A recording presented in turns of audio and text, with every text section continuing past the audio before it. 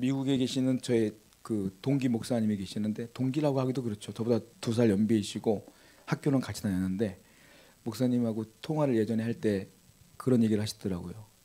이런 일이 있었어라고 저하고 얘기를 하는데 어떤 미국인이 뜬금없는 그런 문제를 얘기하더래요. 야, 니네 나라 조상은 누구냐? 이렇게 묻더래요. 그래서 되지 않는 영어로 설명을 열심히 했대요. 근데 딱 그때 생각나는 게 뭐냐면 우리나라 어릴 때부터 들어왔던 이야기 있잖아요. 단군 신화. 그게 생각나서 우리나라의 민족의 그 조상에 대한 얘기를 했대요. 하늘님이라는 환인이 아들 환웅이 이 땅에 내려왔는데 환웅이 각시가 없어서 고민하던 차에 호랑이하고 곰이 있었는데 쑥과 마늘을 먹고 100일 동안 견디면 사람으로 바뀌어준다는 얘기를 듣고 호랑이와 곰이 쑥과 마늘을 100일 동안 먹던 중 호랑이는 참지 못하고 도망갔고 곰은 100일을 잘 참아서 웅녀가 되었다. 그래서 그 환웅과 웅녀가 결혼하여 아이를 낳는데 그게 단군이요 우리나라 조상이다 이렇게 얘기를 했대요. 그랬더니 그 옆에 있던 그, 그 얘기 물었던 그 미국인이 유대인이었대요. 같은 신학교 다니는 목사님이었던 거예요. 야, 니네 조상은 그럼 곰이냐? 우리 유대인은 아브라함 그리고 이삭, 야곱, 요, 요셉이 우리의 조상이다. 이렇게 얘기하더래요. 목사님이 당황했고, 야, 그건 우리의 설화인 것 뿐이고, 나도 목사인데, 나도 영적으로 니네 똑같이 아브라함이 조상이요. 이렇게 얘기했다는 거예요, 웃으면서. 그리고 내가 그 목사님이, 야, 그때 그게 왜 당군 신화가 생각났냐? 이렇게 저한테 묻더래요. 그게 쇠네요. 이랬어요. 어릴 때부터 들었으니까 그게 어쩔 수 없어. 여러분, 우리나라 조상은 단군이 아니에요. 여러분들의 조상은 단군이 아니에요. 하나님 뭐라 그랬어요? 너희는 내 자녀라 그랬잖아요. 영적으로는 우리도 또한 우리 조상은 아브라함이 우리 조상이에요. 왜냐하면 아브라함이 처음으로 믿음을 가진 사람이거든요. 그리고 아브라함 때문에 믿음을 가진 온 인류 이방인들 또한 다 믿음을 가졌거든요. 그러니까 우리의 믿음의 조상은 누구예요? 아브라함이에요. 아브라함. 제가 이 얘기를 왜 하냐면은 이제 오늘부터 저희가 믿음의 조상 네 명을 얘기할 건데 아브라함, 그 아들 이삭, 그리고 그 아들 야곱, 그 아들 요셉까지 얘기해 보려고 그래요. 근데 신앙의 컬러가 다 달라요, 이분들은. 신앙이 다 달라. 왜냐면은 아브라함 같은 경우는 우리가 뭐라고 말하는 개척 신앙을 가진 사람이다 이렇게 얘기해요. 왜? 처음 믿었으니까. 개척 신앙. 그리고 그 아들 이삭은 나중에 성경을 보면 알겠지만 딱 한 장 나와요. 성경에. 별로 이렇게 비중이 없어 보여. 근데 복을 많이 받았거든요. 이삭을 어떤 신앙인이라고 보냐면 성품 신앙. 참 온유한 분이에요, 이삭은. 그래서 성품 신앙이라고 그러고 야곱은 우리가 잘 알죠. 형 에서의 장자권을 빼앗지 않습니까? 다 빼서 야곱은 그 쟁취 신앙 이렇게 표현해요. 그리고 마지막으로 요셉은 하나님의 섭리대로 흘러가. 그래서 섭리 신앙이다. 이렇게 표현을 하거든요.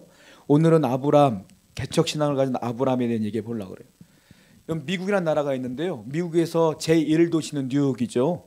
그리고 제2도시가 로스앤젤레스죠. 로스앤젤레스는 어, 한국인들이 많이 살아요. 우리나라 미국에 사시는 분들 250만 명쯤 되는데 한국인이 제일 많이 사는 도시가 어딘 줄 아세요? LA, 로스앤젤레스예요. 로스앤젤레스는 영어가 아니라 스페인어입니다. 영어로는 angel, 그러니까 천사란 뜻이에요. 그래서 그 로스앤젤레스를 뭐라고 말하냐 별명이 천사의 도시다 이렇게 표현해요. 근데 거기에 우리나라 사람들이 제일 많이 산대요. LA에. 그런데 로스앤젤레스는요. 나, 왜 이렇게 한국 사람들이 많이 사나 생각해 보면 날씨가 좋아. 거기가. 1년 365일 중에 329일이 말돼요. 비가 안 내려. 그리고 더워도 35도쯤 올라가는데 날씨가 습하지가 않고 사막 기후다 보니까 그늘에만 가면 그렇게 시원하대요. 그러니까는 살기가 좋아. 비도 잘 내리지 않고 늘 쾌청해. 그래서 날씨가 그렇게 좋아서 사람들이 많이 사나 보다 이렇게 생각이 들어요. 자, 연간 강주량을 재봤어요. 1년에 비가 와봤자 200mm 정도밖에 안 나와요. 왜냐하면 거기가 사막 기후거든. 그 LA가 그 캘리포니아 주에 있잖아요. 캘리포니아 주 옆에가 네바다 주야. 네바다 주 옆에 또 애리조나 주가 있어요. 다 뭐냐 사막이야 사막. 사막이다 보니까 비가 안 내려. 그런데 거기는 다 물도 있고 다 있잖아요. 왜 그러냐면 미국 사람들이 그 땅을 가만 놔두질 않은 거예요. 원래 그 로스앤젤레스가 멕시코에 있었는데 미국으로 편입될 때에 인구가 그 큰 도시에 몇 명 사는지 아세요? 처음에 천 명 살았대요. 천 명. 왜냐면 사막이니까 사막이니까 먹을 물이 없으니까 못 사는 거야. 그래서 미국 사람들은 그걸 가만 놔두지 않아. 왜? 그 넓은 땅을 어떻게 천 명만 사냐? 가만 보니까 물이 있으면 될 것 같아. 그래서 물을 만들어. 어떻게 하냐면 콜로라도 강이 흐르는데 거기다 댐을 하나 건설해요. 후보 댐이란 그 댐인데 어마어마한 댐을 만들어. 그래서 거기서 물을 공급하기 시작했고 물이 가니까 수력 발전이 되면 전기가 들어가기 시작해. 자, 한번 그림 한번 보여드릴까요? 저게 후보 댐이에요. 어마어마하게 큰 댐을 만들어 갖고 미국 서부에 있는 모든 물을 저 댐에 다 공급하기 시작합니다. 그러니까 사람들이 살기 시작하는 거죠. 그리고 미국 사람들이 우리가 잘 알아야 될 게 미국은 정신이 두 가지가 있는데 미국 프론티어 정신이라고 개척자 정신이 있어요. 서부 개척 시대 기억하시죠? 개척자 정신이 있어요. 또 하나는 미국이 시작했을 때 나라가 어떻게 시작됐냐면 영국에 있는 청교도들이 핍박을 피해 도망을 가요. 메이플라워를 타고 도착한 나라가 미국이요. 그래서 미국에서 시작했던 사람들이 누가 시작했냐 청교도들이 시작한 거야. 그 신앙의 나라예요, 거기가. 그래서 두 가지 정신이 있는데 청교도 정신과 개척 정신이 미국에 있어요. 자, 두 번째 그림 한번 볼까요? 저희는 그림으로 그린 건데요. 저기 있는 배를 타고 청교도들이 온 겁니다. 청교도들이 와갖고 오자마자부터 그들은 교회를 졌고 그 나라에 그들이 처음부터 예배를 시작한 거예요. 결국 미국은 기독교 국가예요. 기독교 신앙으로 시작된 나라예요. 그리고 서부 개척 시대가 시작돼도 다음 그림 한번 보일까요? 서부 영화 보시죠, 여러분. 서부 영화 얼마나 재밌어. 말 타고 막 인디안과 싸우고 맨날. 그 시대야. 그러니까 그때는 뭐냐면 말 타고 점령하면 그 땅이 다 자기네 땅이야. 그러니까 그걸 개척 정신이라고 그래요. 그러니까 자. 그러니까 미국이 그 LA라는 그 황폐한 땅을 개척 정신을 갖고 옥토로 바꿔버린 거예요, 전부 다. 그러니까 신앙과 개척 정신으로 세워진 나라가 미국이다라는 거죠. 제가 이 얘기를 왜 이렇게 장황하게 했냐면 개척 얘기하려고 그래. 여러분 교회도요. 개척 교회가 힘들어. 왜냐하면 목사님이 부임을 하면 일단 가면 교회가 있죠. 거기 다니는 성도가 있죠. 그리고 재정이 있죠. 시스템이 있죠. 목사님은 부임해서 그냥 설교만 잘해주면 돼. 그럼 돼. 개척교회는 안 그래. 개척교회는 어떻게 하냐면 내가 개척하는 순간 성도가 없어. 일단. 교회도 없어. 성도가 없으니까 돈도 없어. 재정도 없어. 아무것도 없어. 거기서 교회를 시작하는 게 개척교회야. 그러니까 목사님들이 제일 힘들어하는 게 개척교회예요. 근데 하나님의 은혜로 이렇게 우리는 이렇게 예배당도 있고 은혜가 있으니까 얼마나 감사한지 몰라. 실패한 분들 굉장히 많거든요. 그게 개척 교회가 어려워. 신앙도 마찬가지예요. 개척 신앙이 어려운 거예요. 하나도 안 믿는 데서 혼자 믿기 시작한 분이 어려운 거예요. 온 가족이 예수 믿는데 그냥 거기서 믿는 건 쉬워. 내가 믿는데 뭐 부모님이 열심히 믿는 분인데 내가 교회 간다고 해서 뭐라고 해? 안 그래? 안 그러죠. 오히려 안 가면 핍박하지. 근데 안 믿는 집에서는 교회 나가는 게 그렇게 어려운 거거든. 개척 신앙이 어려워. 아브라함이 누구라 했어요? 개척 신앙이다. 혼자 처음 믿은 사람이 그 가정에 아브라함이 얼마나 힘들었겠어요. 그러니까 이런 개척 신앙인 사람들은 믿음이 어디느냐? 세야 돼. 보통 세 보통 세면 안 돼. 엄청 세야 돼. 우리는 아브라함을 통해서 그 사람이 왜 믿음의 조상인지, 왜 하나님이 그 믿음을 통하여 일했는가를 한번 보려고 그러는데요. 자, 개척 신앙은 첫 번째, 하나님의 말씀에 무조건 순종해요. 이게 개척 신앙이에요. 여러분들의 믿음은 이와 같아야 돼요. 무조건 순종이야. 무조건이 뭐예요? 조건이 없다는 거예요. 내 머리로 봤을 때 될 것 같은데 안 될 것 같은데 이거 해주면 할게요. 저거 해주면 할게요. 이런 조건이 없어. 이 조건은 하나님이 이거 해 그러면 네 하고 하는 게 무조건적인 순종이에요. 이게 아브라함이에요. 저도 개척할 때 처음에 개척한다고 했을 때 사람들이 다 뜯어말랐어. 첫 번째 우리 부모님이 뜯어말랐어. 친인척이 다 뜯어말랐어. 아는 사람 다 뜯어말랐어. 친구들 다 뜯어말렸어. 선배들 너 미쳤냐? 네가 개척을 몰라서 그래. 다 뜯어말렸어. 근데 저는 아무리 생각해도 그분들이 말하는 거 들으면 하면 안 돼. 근데 하나님께 기도하면 하나님이 하라고 하는데 그러니까 어떻게 돼? 하나님이 하라고 하니까 하는 거야. 그게 개척이야. 조건을 보면 못해요. 아브라함은요, 개척 신앙이야. 하나님이 하라니까 한 거야. 무조건적인 순종. 하나님이 이 아브라함을 사랑할 수밖에 없어요. 하나님이 여러분들에게 복을 줄 수밖에 없는 것. 이유가 뭐냐? 여러분들이 무조건적인 순종하면 그렇게 돼요. 이유 따지지 말고 하나님께 그냥 하나님 하라는 대로 아멘 할 때 하나님 복을 준다. 성경을 볼까요? 창세기 12장 1절입니다. 시작.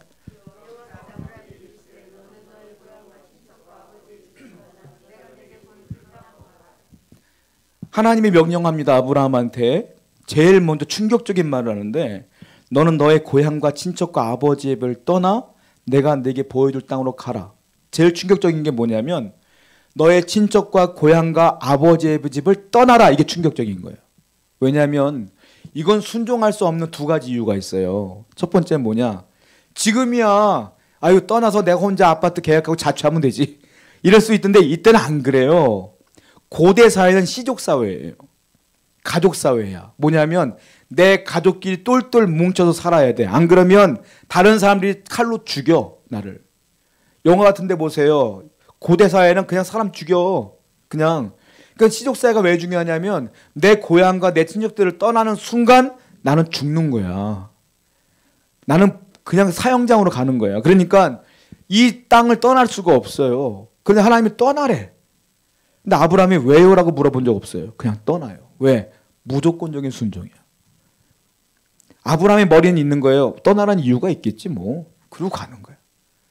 내 머리는 이해가 안 되지만 떠나라는 이유가 있겠지 하고 믿고 가는 거예요. 이게 믿음이야. 두 번째로는 하나님께서 뭐라 그랬어요? 내가 내가 네게 보여줄 땅으로 가라 그랬어요. 이것도 순종하기 어려워. 정확하게 야 서울로 가, 부산으로 가. 그러면 어 그쪽 가면 거기 내가 살 만한 게 뭐가 있겠구나. 하지만 목적지도 없어. 그냥 내가 지시할 땅으로 아무 데나 일단 떠나. 이거예요. 근데 아브라함은 그러려냐고 그냥 가는 거야. 이게 아브라함의 순종이에요. 왜 아브라함이 인류 최초의 믿음을 가진 사람이 되었느냐? 이러한 믿음이었기 때문에 그래요. 하나님께 뭘 묻는 게 없어. 하나님 명령하면 그냥 아멘이야. 하나님이 그를 사용할 수밖에 없어요. 또 성경을 볼까요? 창세기 12장 4절입니다. 시작.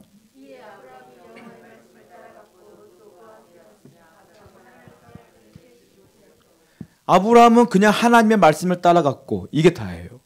하나님이 말씀하시면 가고 하나님 멈추라면 멈추고 이게 아브라함이었어요. 우리 세우는 가족 여러분들은 이와 같은 믿음을 가지셔야 돼요. 이게 하나님이 원하는 믿음이에요.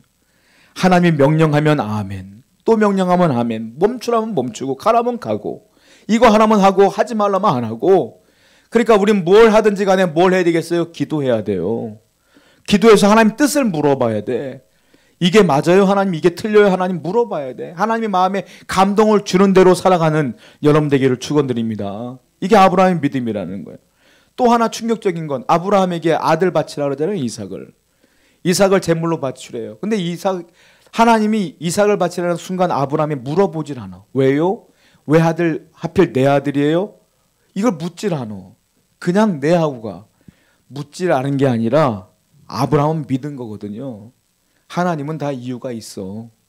하나님은 날 사랑하는데 내 아들도 사랑하는데 내 가족을 사랑하는데 내가 이렇게 어려움이 있네.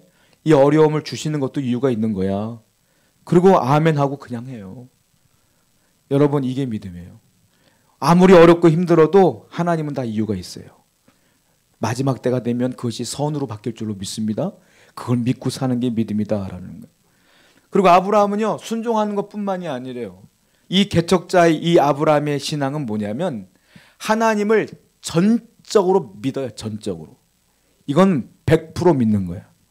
전적으로 믿으니까 순종해. 여러분 순종은요. 믿는 사람이 하는 거예요. 안 믿는 사람은 순종 안 해요. 하나님 말씀을 믿으니까 순종하는 거야. 근데 어설프게 믿으면 순종 못 해요. 100% 완벽하게 믿는 사람이 순종하는 거예요. 볼까요? 창세기 12장 2절부터 3절입니다. 시작.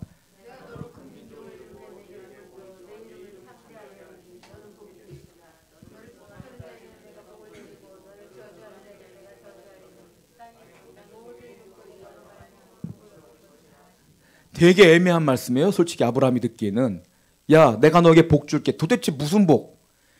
무슨 복도 안 나와 있어. 너를 저주하면 내가 저주할 거고 너를 축복하면 축복할 거야.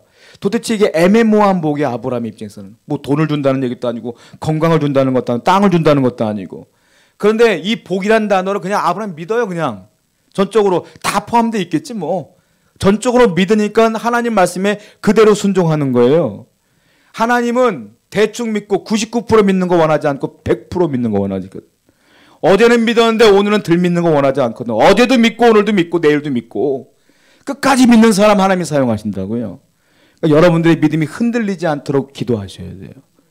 작년에 믿었던 믿음 오늘 더, 더 좋아져야 돼. 내일은 더 좋아져야 되고.